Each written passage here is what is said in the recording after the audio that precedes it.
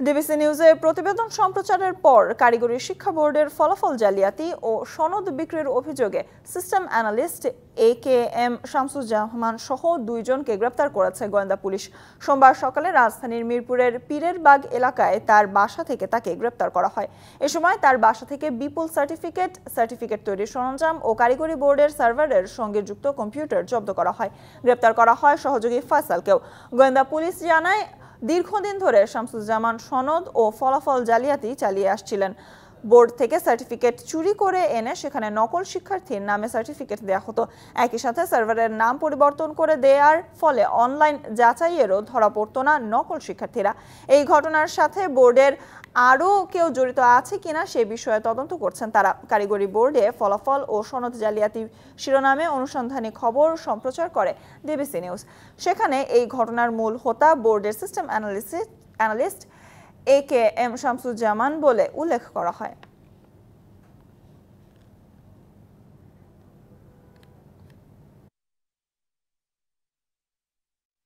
সে নিজেই তো system analyst সেই কারণে এই অবৈধ লোকদেরকে অরিজিনাল সার্টিফিকেটগুলো দিয়ে সে এগুলোকে অনলাইনে আবার অথেন্টিকেটেড করে দেয়। সেইগুলো দিয়ে সে বছরের পর বছর এই সার্টিফিকেট কেনা বেচার কাজটা করে যাচ্ছে।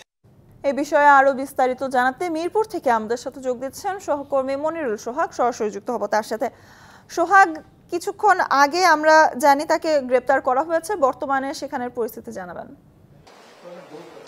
আপনি জানেন যে আসলে এই অভিযানটি চলছে মোটামুটি বেশ কিছু সময় ধরে, অর্থাৎ যারা সার্ভার জালিয়াতি করে ফলাফল জালিয়াতি করত এবং এর পাশাপাশি মূলত সার্টিফিকেটগুলো দিত, সেই system analyst A M Shamsuzzaman তার এক সহযোগী সহ গ্রেপ্তার হয়েছে এবং এই অভিযানটির নেতৃত্ব দিচ্ছেন গোয়েন্দা পুলিশের উপ পুলিশ কমিশনার জনাব মশির রহমান। আমরা তার কাছ থেকে কিন্তু এর আগে শুনেছিলাম। আপনি দেখতে পাচ্ছেন যে সার্টিফিকেট যেগুলো রয়েছে, অর্থাৎ যে সনদগুলো দেয়া হচ্ছে, এই সবগুলোই কিন্তু বোর্ডের মূল সনদের যে কাগজ সেগুলো এবং অনলাইনেও কিন্তু এই নামগুলো ধরে যখন যাচাই করা হবে তখন কিন্তু এই নামগুলি আসবে। অর্থাৎ এটি আসলে বাইরে থেকে ধরার বা বোঝার কোনো উপায় কিন্তু নেই। যেটি গোয়েন্দা পুলিশের যে তদন্ত, তারা সেটি তদন্ত করে বের করেছেন। তো এরকম আসলে বছর পর বছর ধরে এরকম কাজ করছেন এবং কয়েক বছর কয়েক বছর ধরে কিন্তু এরকম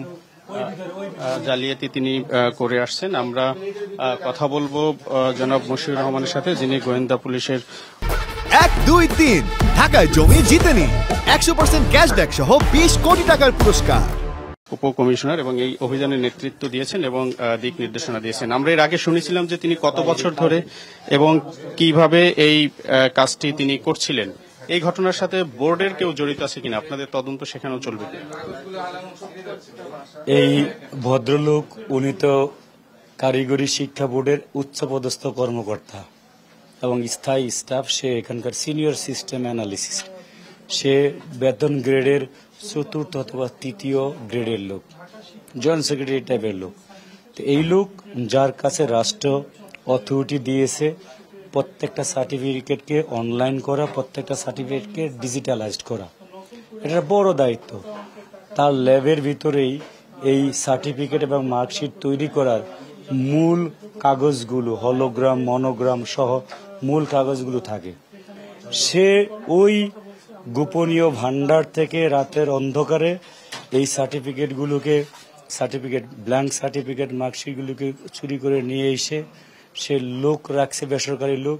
আরেকটা বাসা ভাড়া করে সেখানে কারখানা স্থাপন করে যাদেরকে, যাদের কাছ থেকে পয়সা নেওয়া হয়, সেই সমস্ত অছাত্র, কুছাত্র, ঝরে পড়া ছাত্রদের কাছ থেকে পয়সা নিয়ে সুন্দর করে যাকে যত খুশি জিপিএ ফাইভ পারলে আরও বেশি দিয়ে দিয়ে এক একখান সার্টিফিকেট বানিয়ে দিতে থাকেন মার্কশিট বানিয়ে দিতে থাকেন এবং এগুলোকে বাংলাদেশ সহ পৃথিবীর যে কোনো কর্নার থেকে সার্চ দিতে গেলে এটা অনলাইনে ভেরিফাইড হবে। হ্যাঁ এই ছাত্রের নাম মুস্তফা কামাল, এর মায়ের নাম জাহানারা বেগম, এর বাবার নাম যদু মিয়া এরা এইগুলোকে ভেরিফাই করে দেবে এবং কেউ বলতে পারবে না এটা দুই নম্বর সার্টিফিকেট এটা বোর্ডের লোকেরা সরাসরি জড়িত থাকার কারণেই এটা সম্ভব।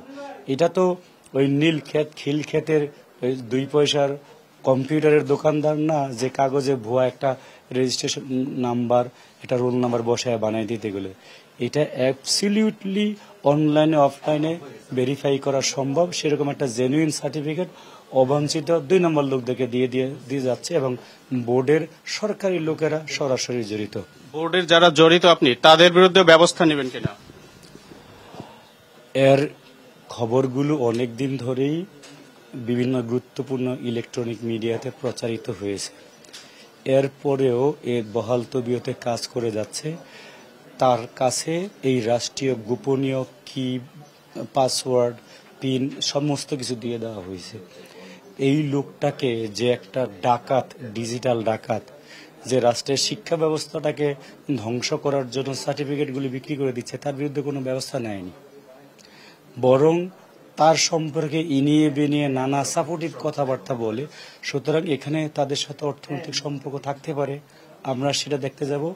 আর না হলে এরকম একটা চোর সরকারি প্রতিষ্ঠানে কাজ করতে যাচ্ছে ওনারা চোখ বুঝে এটাকে দেখেও না দেখার ভান করতে যাচ্ছে এই দায়িত্ব, অবহেলার দায়িত্ব তো ওনারা এড়াবেন কেমন করে? আমরা অবশ্যই তো তাদেরকে জিজ্ঞাসাবাদ করব।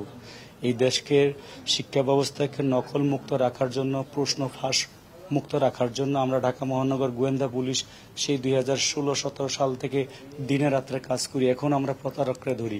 এই সমস্ত ডিজিটাল ডাকাতদের কাছে আমরা শিক্ষা ব্যবস্থাকে লুণ্ঠিত হতে তো দিতে দেব না। আমরা অবশ্যই জিজ্ঞেস করব। ধন্যবাদ আপনাকে। স্বর্ণ, আপনি শুনছিলেন গোয়েন্দা পুলিশের উপ পুলিশ কমিশনার জনাব মশির রহমানের বক্তব্য এবং এটি দীর্ঘদিন ধরে চলে আসছিল। এই জায়গা থেকে আসলে মুক্তি চান যারা শিক্ষার্থী এবং কারিগরি বোর্ড সংশ্লিষ্ট বা শিক্ষা সংশ্লিষ্ট যারা রয়েছেন, তারা সকলেই। সহকর্মী মনিরুল সোহাগ আমাদের জানাচ্ছিলেন, শিক্ষা বোর্ডের সনদ জালিয়াতি চক্রের হতে গ্রেপ্তার করা হয়েছে, তা নিয়ে বিস্তারিত।